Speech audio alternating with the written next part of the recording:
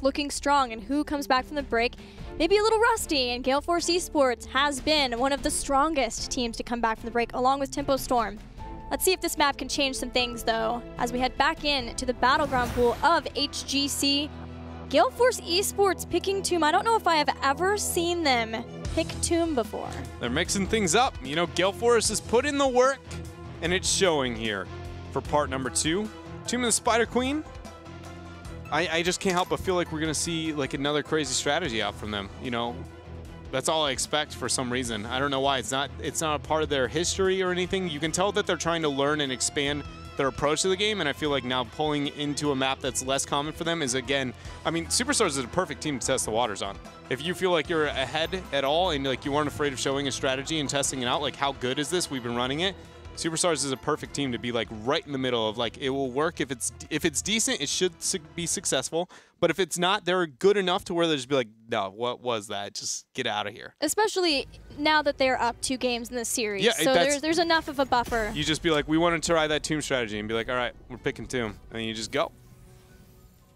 It also may be a throw off for Superstars too, because obviously the last game, Superstars knew what draft was coming. They just didn't quite execute in a way to be able to stop it. But the difference is now, like I said, I don't know if I've ever seen Gale Force pick Tomb. Neither of these teams played Tomb last week. So it just might be another way of trying to make sure that Superstars can't start to figure Gale Force out in any way. Going to Zarya, do we see the Valla pickup here for Gale Force? To be able to rid of that Valla duo. Otherwise, you can expect Superstars is going to work into some form of Zarya, Auriel, plus the battery.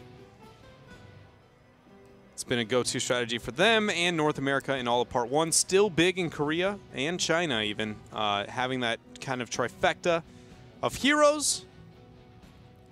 What else can we expect out of them with the Malfurion picked up? Most Lucio. North American teams haven't most haven't this I, high? I think Gale Force will, though. I, they've been one of the teams playing Lucio the most. Yeah.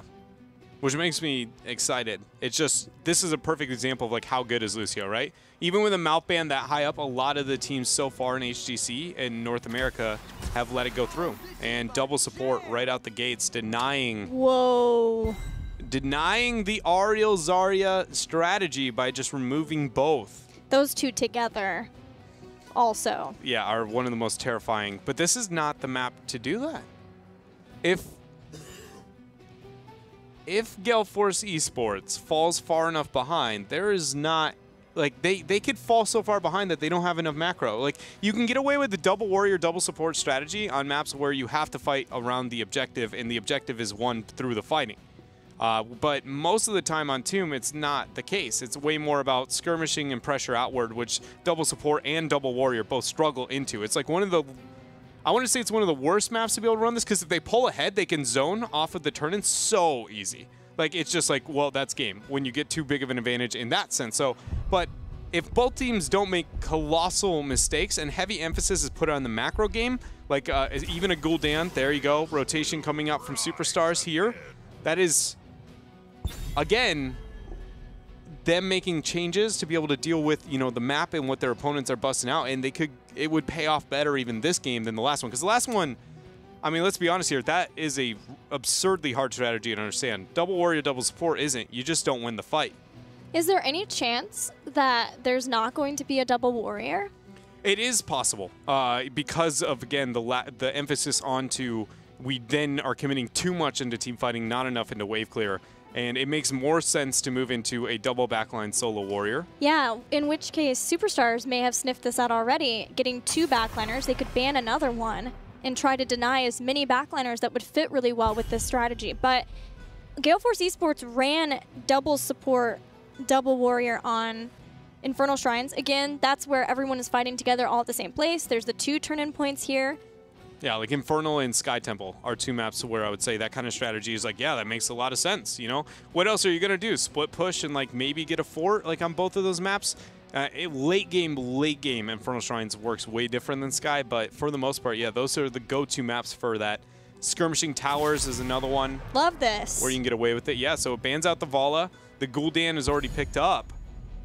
And that only leaves like Lunara out of those, you know, big high number damage dealers uh, that, you know, Superstars, or excuse me, that Gale Force won. So Superstars here with their new drafters, we heard Sray talking about having Hosty move over the drafting, which Sray has drafted on, I think, every team he's played on, period. So the fact that they, you know, they're mixing things up and changing that role, maybe showing a bit here in this draft. It makes me happy too because we've talked about the three core members of Superstars who have been together for so long, Sray, Faye, and Iacona, and we wondered where the value would be in bringing in Hosty and Goku. So now we're seeing it with Hosty. He's flexible. Uh, he's been playing, flexing into whatever he needs to, sometimes a third warrior, sometimes a range, now drafting too. And he does pay attention to a lot of regions to be able to offer that. Sray said even more than himself. And then Goku, we've already seen, right? The playmaking that he brings in is it's very good, especially in synergized in synchrony with uh, Sray. So now Superstars, they've got to pick up their support.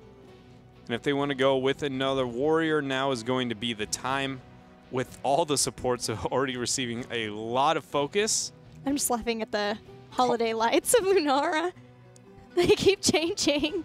I actually didn't know that on the skin. That's actually pretty neat. It's a celebration. Does it go all the season colors? No, they're kind of they're kind of mixed up. I was excited for a moment if they just cycled through the seasons. Too good. I guess it is a Christmas skin, so it's a little unfair to make it all seasonally. But I don't know. I just all I think of when I see her in default. Winter pins. Veil. Yeah, Winter Veil.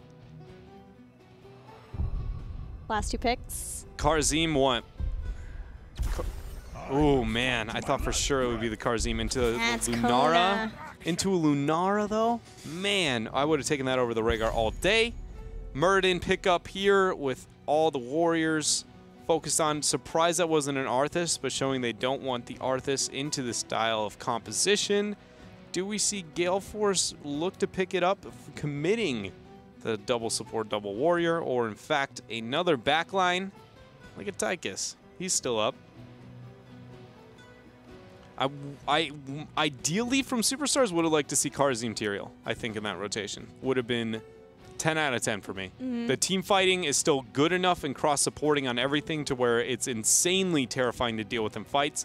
Just enough when it comes to macro play with the Gul'dan, the Zarya, um, and then having Tyrael be a solid 1v1er. Yeah, but Rehgar is a 12 out of 10 doggo. He is. you And know? he's a favorite of Iacona's. Akaface too, but Iacona has been playing him for forever. All right, we're doing it. We're in there. Double support, double warrior.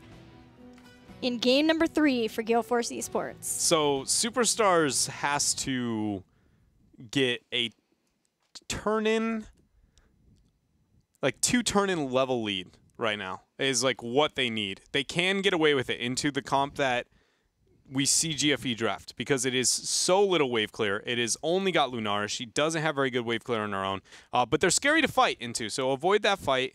Look to just wave clear, wave clear, wave clear, get the first turn in, abuse the Zarya Gul'dan factor, siege up, take half a fort, stack the next one, fort and a half after that. And when they get that big of a lead, they should be far enough ahead that the double warrior, double support is not impossible to fight into. But if that works the other way, and Gale forces the team to get even a level ahead after the first turn in, I really think that they are just that much better than Superstars mixed with having such an insanely forgiving composition that if they won the macro game early on in a world where there's no way they should, suddenly this game gets really out of control really fast and it doesn't look close. Yeah, whoever is soloing for Superstars needs to make sure that they're on their A game because Gale Force Esports so far has been able to get a lot of picks Yeah. on members of Superstars who have been out, and that has enabled them to continue to catapult ahead of Superstars. So if this is dependent on Superstars getting ahead in the early game, hopefully it's something that they feel comfortable with, given that before early in part one, Superstars had to be ahead in the early game where they just couldn't quite function versus their opponents. Yeah, it's this series for drafting has been one of my favorites. I like the Gale Force versus Team 8. Just the way that it's kind of worked out, the thought processes but from the teams and the direction they've moved it. But Gale Force, I think, sealed the deal. They've got about two different ways that they're going to approach the game for all uh, for the rest of part two. Is whether any team has the answer to stop them. Let's waste no more time. Can Superstars stop Gale Force this game? We'll find out on Tomb the Spider Queen.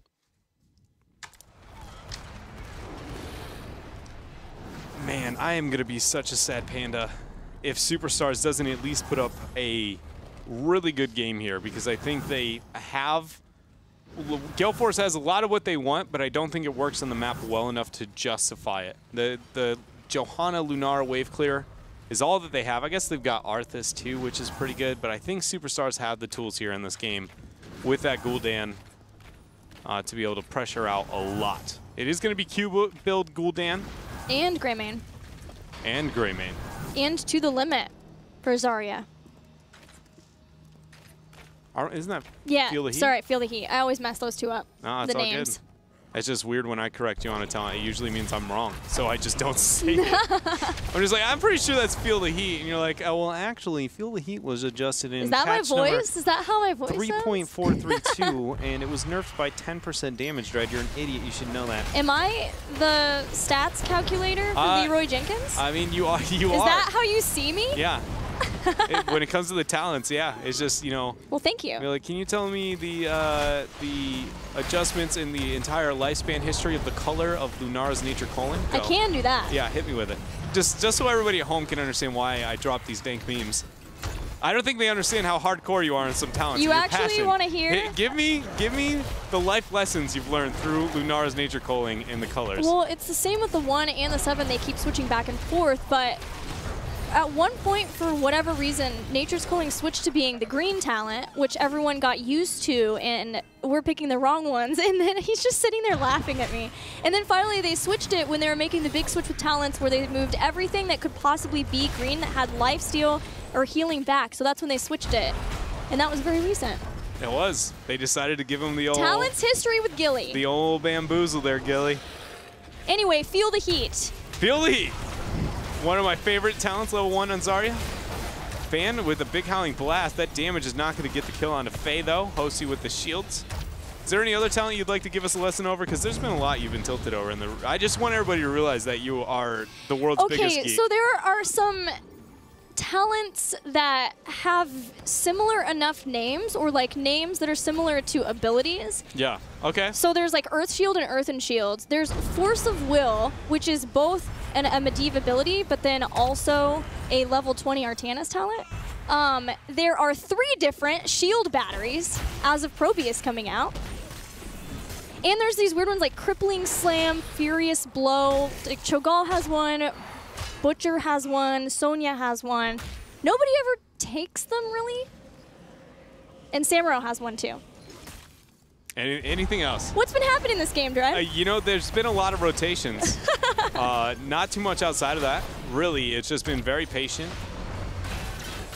Superstars is committed to the four. They are pulling ahead and winning the four-man as you would kind of expect, but in a weird way by setting Gul'dan and Greymane as the solos and then running a 3-1-3, kind of babying uh, what happens in between. Um, and Gale Force is just trying to make up for the fact that they picked up a skirmishing composition. Uh, really, you know, they're just trying to stop the bleeding. And so far, it's working out. The fact that only only 39 gems have been turned in for Superstars. Ideally, they need like a turn in and a half before getting that turn in. Uh, otherwise, Gale Force, because of how gems and experience and time, Equinox is going to be fine. Oh, Iacona, Ripperoni, and Pepperoni. That's going to be the first kill of the game. Howling Blast Flank from Fan. And that's enough gems available for Gale Force Esports to get a turn in if, if Hosty lets them get the channel. There was one. Now Akaface and Equinox can zone. Akaface can look for the boops. Crowan also has uh, his detainment strike. Oh, Aka. I thought there might be enough follow-up there. But no, they're going to play it more passively here. Arthas, Greymane in their 1v1 just doing their thing. Nobody pulling too far ahead. Stray is out a bit far. He realizes it. Throws a Stormbolt. Condemned, but no follow-up damage behind. Good. Good corruption coming out from Faye. Deterring the advancement of Gale Force Esports.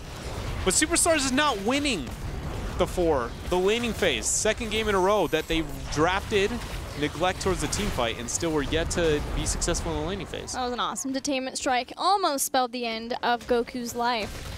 But with all the damage that Gale Force has consistently put out, Superstars have always had to go back and tap, go back and reset. And this time, it is netted Web Weavers for Gale Force.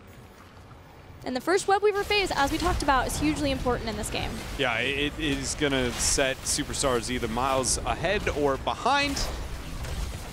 But right now it's looking good. The fact that they have this camp up on mid, Stray took a bit too much damage there, so they won't be able to, you know, kind of step up and rid of it as fast as they would like. But if they can remove these without losing too much, wow, that corruption, without losing too much damage there, they should be totally fine. It's just about how fast can they clear of these, and Gale Force is just pretty much forfeiting top. Mid's going to be a pretty a, safe clear as well. And bottom, that is where we're going to see Gale Force get a front wall and a half. This is risky for Goku. Dives in, jumps out, does not want to get hit by the purple wave of the Web Weaver. Throws out a cocktail, hesitant to see if anyone is going to rotate in. Web, uh, Web Weaver in mid has started to do some damage, took out towers, but this has been a nice hold for Superstars. They only lost towers. They may be able to get a kill on Fan. Oh. Goku's trying to bait it. There's going to be the shield and the heals. Fan dropping the slow crone there for the healing. Oh man, he's in a spot for a detainment strike. Fan goes down, but Goku didn't get punished here as he is still barely alive, dancing over the backline of Gale Force Esports. This is perfect. Superstars could not have asked for a better position here after that turn-in. The fact that they're even in experience, they have, again, enough to get a turn-in, but then after the entire turn-in ends, they're going to be close to their next one. They can force the 10 spike, get a secondary turn-in, and then just be very aggressive. Could be their game. Now to the limit grab. That was a super fast closeout of Pursuit of Flame. too. Yeah, yeah, it was from Faye. Yeah. Speaking of, just getting a little bit of damage down here. Four, six away. Channel's gonna happen by Greymane. But no zoning here from Gale Force. Again, just kind of trying to goaltend it out, make sure that nobody gets a free turn in. Gale Force are getting really close if they can just get the turn in. They have uh, their gym spread out just about everywhere though, except on Fan. He's a pretty good zoner. Oh, Lunara gets caught, blown up with all the damage that Superstars can deal, and that may be the start of their turn-in, especially as they're about to hit heroic abilities. Yeah, this is, the snowball is about to begin. How much can Superstars gain off of this though? There's gonna be the first pick and then the Web Weavers. Expulsion zone is gonna be casually walked through. But did force Iron Skin. 10 is now picked up here for Gale Force Esports. Heroics are going to be what you would expect for everyone. No reverse amp. I think that was reverse amp last time. No, it was it was, It was uh, still still sound sound. barrier. Okay, We're so yet to see a reverse amp in North America, at least so far. Thornwood Vine for Lunara. Still so torn on Thornwood Vine versus the Leaping Strike. I understood it on Braxis, but you definitely want someone who can execute. I guess that maybe comes down to Fan. I He think does have Army so that he can be more sustainable in the back. I think the argument is made that well, if her damage output is high enough and long enough, then it, with a double warrior, double support, you don't need an executioner. You just need your health bars higher than your opponents. Okay. And, And your she opponents enables back that. off. And then plus you need to be able to make, you know, Crowin that much ter more terrifying in a double support. Sound barrier. Army of the Dead 2. Faye is going to get healed back up. Buys some time with Horrify, but Fan jumps right back on top of two targets, slowing them down, rooting them as well with Howling. Blast. Sray is the only one who can't die here. He gets out, so he's going to be fine, just based on his gem count. Yeah. Uh, that's a winning trade uh, right now for Superstars, actually losing that one person. Again, Gale Force knows they have an insanely good teamfight composition, but they have enough for a secondary turn-in, and they're drawing aggro on top. If we can see a turn-in for Superstars, the turn-in's worth more than that boss. I don't say that very often, but this boss is more of a flashy play than a good one on the side of Superstars. They just have no, or excuse me, Gale Force. They have nothing to do other than try and stack that with the turn-in and the fact that they didn't look for the turn-in early. Er, early. It's very greedy. Superstars now figure it out, and they're going to try and force the turn-in. That might have been too little too late, though. They're in the Oh, bottom, so nobody can run in so from slow. Gale Force. Yeah. Oh my failed fish. Oh no! That's what I was talking about. They yeah, were no, so I saw it, but I just believed. You just believed in the channel time? Oh, that's rough. That is rough for superstars. They just didn't get there in time. Yeah, it's just not understanding where your opponents are at that point in time. and then putting you in a position where you respond too slow. Okay, so one thing that's important to note is if this was 16 minutes into the game, then that trade-off would be a lot riskier. Um, to, I would want Superstars to not turn in. The reason why I want Superstars to turn in on this one is just based on the fact that that not only would be a double stack of pressure into a non-sieging composition, which you have the boss that they obviously had to respond to, which now leads to the free fort, then they can cycle bottom if they want to, or just keep them busy on mid. Anything can happen at this point in time. Blessed Shield hit a few. Sound barrier. Sound barrier two. Stray with Avatar and Ancestral Healing makes it through A-OK. That won't be the case for Hosty. He has one shield for himself and gets back again. Superstars are hanging in, but they're not responding to bottom, which is starting to siege down that final fort. Not even final fort, they're still the top fort too, but more structures. I think this really does show the weakness of Gale Force's draft, though, and you know, kind of the criticism I had towards running a double warrior, double support on Tomb, is even with two turn-ins, winning most of the fights, and a boss, they have netted less structural damage than Superstars in this game. Like, when you really do take a step back and you're like, you think about that, you're like, how? Right? But again, it's just they're good at fighting, and that's where it stops.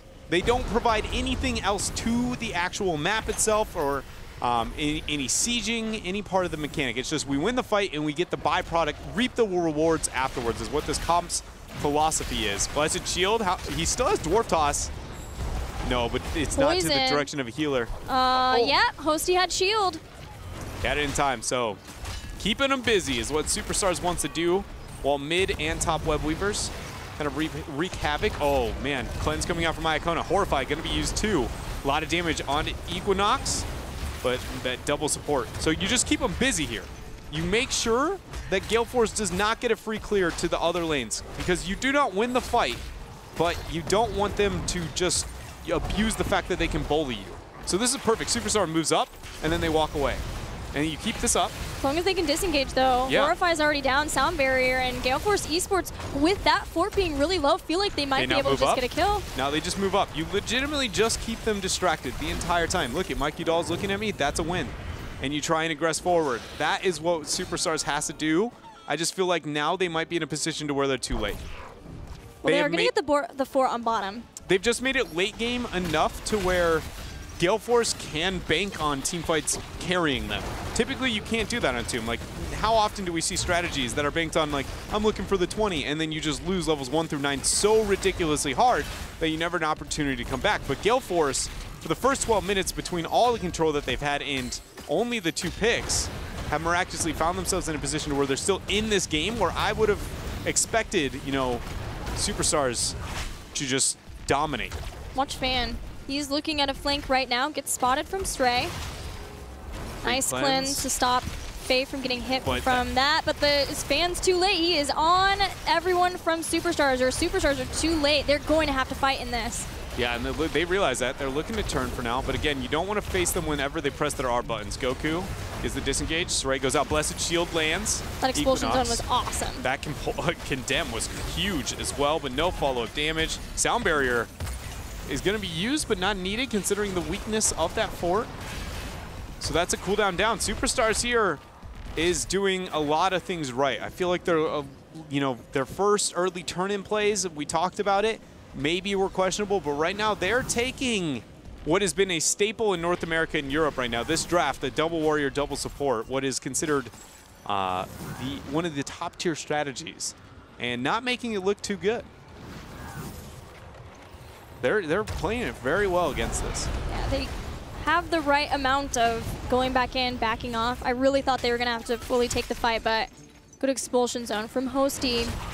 And thankfully, that's a low cooldown. So as long as Hosty keeps landing those, it buys time for the team to back out. And as long as Stray is up in the front as that Muradin, he can get slowdowns and then Dwarf Toss out. So they're going to move up here. A lot of damage on the Equinox, stunned out. He pops the Avatar. Ancestral will connect. There's going to be a Horrify splitting off the two members, but Fan says thank you for the free trip onto your backline.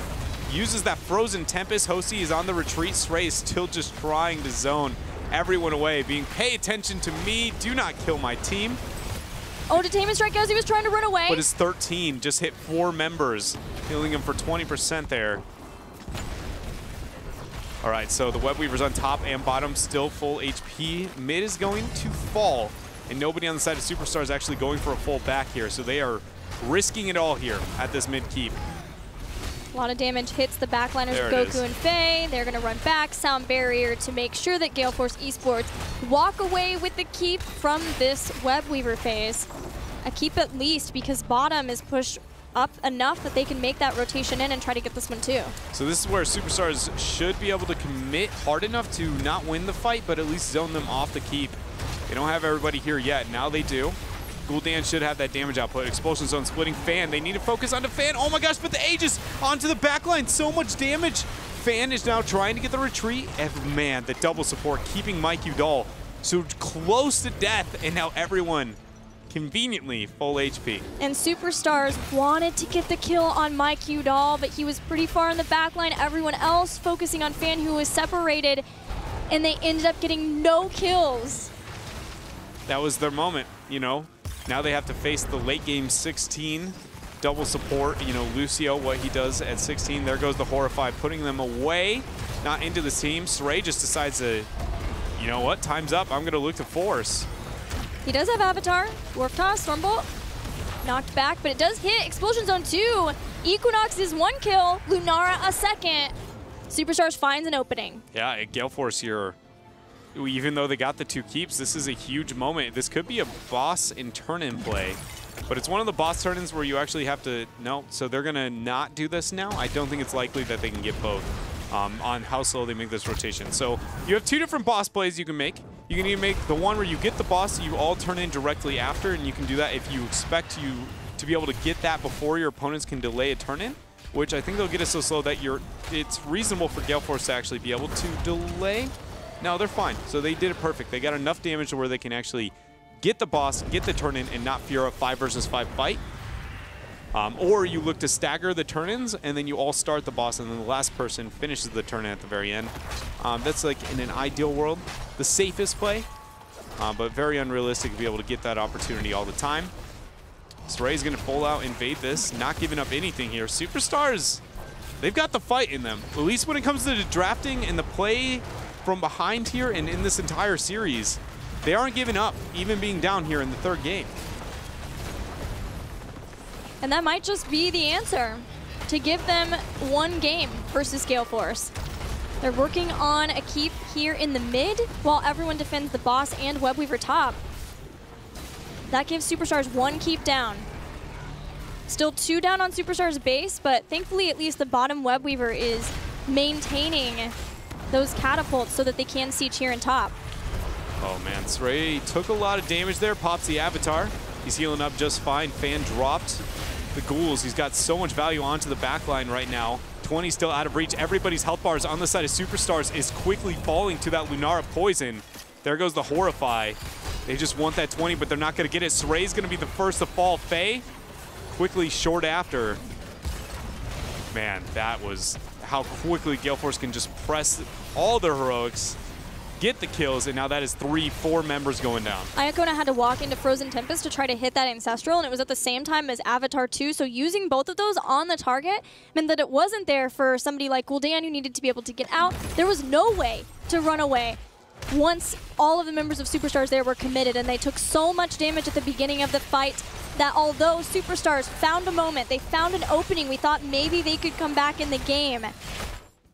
Gale Force Esports just turns around and will quickly win a team fight to give them the win in game three, taking out Superstars three to zero.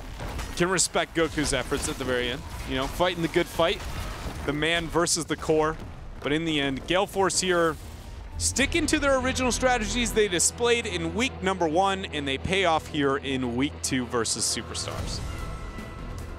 Not as clean as maybe week one, you know, maybe not as refined, but still having that innovation that what I'm calling now the Gale Force flavor on the drafts and playstyle this week. Yeah, I mean, you do have to give it to Superstars too. Versus Teammate, Superstars had a whole week to look at those strategies the double warrior, double support, and the Braxis holdout signature style of Gale Force Esports and try to develop the answers. They just weren't the ones to do it. Who will? Who will? That's my question. I, I don't know at this point. With Gale Force Esports looking like a new beast, it's there's very few teams in the North American scene that I really feel like can take Gale Force when they're truly at their best. And right now, I think they're closely, like quickly filling the like gap on their ability to improve and be one of the best teams in North America. Yeah, and I do have to say that I think a lot of that comes down to solidifying roles a Yeah. lot more Yes. for them. They have Equinox now playing Warrior, and there's no longer that, oh, who's going to play Warrior this time? Who ends up potentially being on somebody they don't feel comfortable with? It is a whole different Gale Force. Yeah, And I'm happy for them for that. I, I agree. I think it was a, the first step they needed to make, and I'm glad they identified it. And it looks like they're they're following through with it because we've seen teams time and time again be like, "Nah, we figured it out. We're just going to put this guy on this role, and we'll swap him, and that'll be fine." Two weeks after that, they're just like, "Uh." You know, because you look for the immediate result. Oftentimes, team do. It's not about the long game. It's more about what's going to win me this week versus six months from now. Can I be the best? And being able to keep their strategies going for Gale Force Esports ensures that they don't show anything too new because remember, they haven't played Tempo Storm yet. And we know that uh, Michael Udall just tweeted that he'll shave his head if they lose that match. So I want to make sure that everyone holds him to that if they do end up losing it, but that's not going to be this weekend. Meanwhile, let's check in with Crowan. Hey, buddy, congratulations. How you guys feeling? Did you feel like it would be a 3-0 over Superstars this week?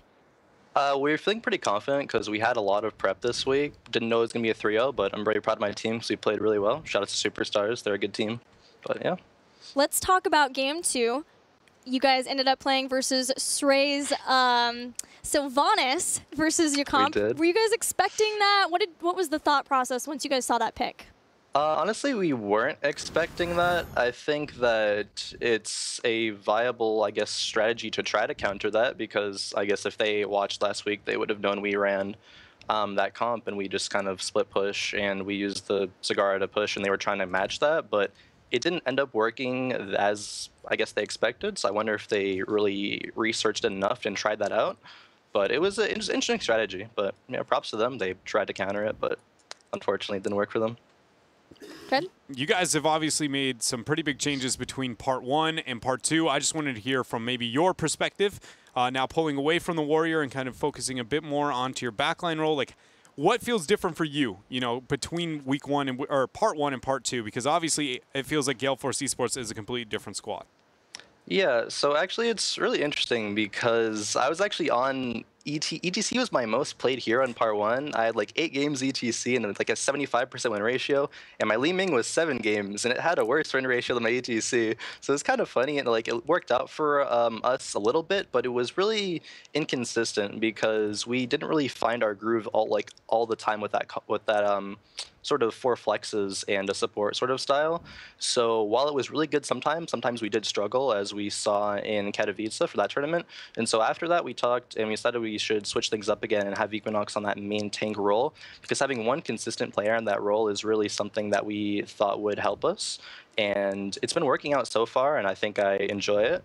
Um, being on what ranged more. Like tank, I thought was you know it was pretty fun for a while. I had my good times um, on ETC, but I'm ready to uh, you know take back that ranged role. Get back to it. Yeah. Especially the Li Ming. We miss your leaming. Ming. Well, Um, maybe I'll get to play it sometime. Ooh, that'd be pretty cool. My question for you guys is about your preparation. We know how much you guys' preparation means for you. What is it like um, in a week like this where you have two different opponents because you guys are playing No Tomorrow on Sunday? Do you feel like your preparation suffers? And what can we expect from that matchup versus No Tomorrow? Um, I think obviously, you know, say if you have a week where you only have one match week versus two, you have to do double the prep work, and so it's a lot harder because sometimes maybe you might focus on one too much. But I think our team did a good job of um, de- allotting time to prepare for both, and I think we can see tomorrow. Um, I wonder how No Tomorrow is going to perform because they have been kind of inconsistent through the through this whole season. So I think we're just we're pretty prepared against them. I don't want to say exactly what we're looking to do, but um, just be prepared for a good set. Awesome. Well, good luck in that set for you guys tomorrow versus No Tomorrow. And uh, before we let you go, do you have any shout outs? Yeah, of course. First of all, thank you to everyone watching. Thank you for you for casting, doing such an amazing job. This is, you know, this is a dream come true for me to be able to do this, and so I just want to express my appreciation for everybody. Um, also, shout outs to uh, our sponsors, Gunners and Twitch. Shout outs to my team. Uh, they all stream, well, besides Akaface, but I'll give Aka a special Twitter shout out at Akaface Hots. Uh, I stream at twitch.tv slash Crowan. Michael is just Michael Udall. Fan is SC2 Fan TV, and Equinox is Equinox Hots. And yeah, much love. Thank you very much. Thanks, Crowan. He nailed You had the, it written the down. Twitch. I was keeping track. I was keeping the keeping. eyes going down. Yeah. I was like, uh, yeah, I do actually have some shout outs. Give me a moment. Uh, yeah, so that's going to be Fan SC2 TV. uh, yeah, we're moving on to Michael. Michael, did we remember Michael? I don't know. I think we did. Well, hey, it was worked out more for him than Mike Udall, at, at least. Poor Michael was struggling trying to remember fans Twitch. Well, that does it. Very quick 3-0 in our first series. Yeah. We're not done yet, though. We're gonna have B Step versus Team Freedom. Any thoughts on that matchup before we head to a break? I, you know, I think it'll be a bit closer than this first series, but it's. I don't know how I feel. Who's going to pull ahead? I don't give either team too big of a favor. I think it's just going to be a scrap at the mid part of North America. All right. Wise words from Dread about how our next matchup will go. We're taking a break. We'll see you after it. Bye.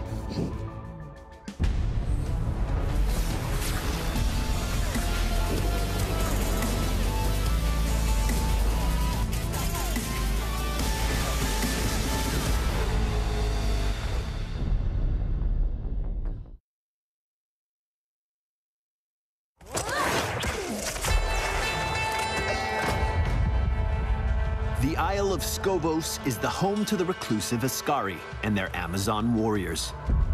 Long ago, their oracles predicted the dark exile of the Prime Evils and foresaw an Amazon would someday rise to fight them. Alongside a group of valiant heroes, Cassia defeated Diablo and his brothers and returned home after the World Stone's destruction. Now the war matron and commander of the Amazon army, Cassia brings